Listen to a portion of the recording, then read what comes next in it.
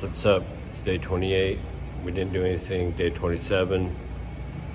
I don't know what we're gonna do today. We're either gonna do legs or we're gonna do like uh, cardio core day. So stay tuned. It's gonna be a short, short vlog today as well, just to get this up because I didn't get anything up yesterday. And yeah. See you on a little bit.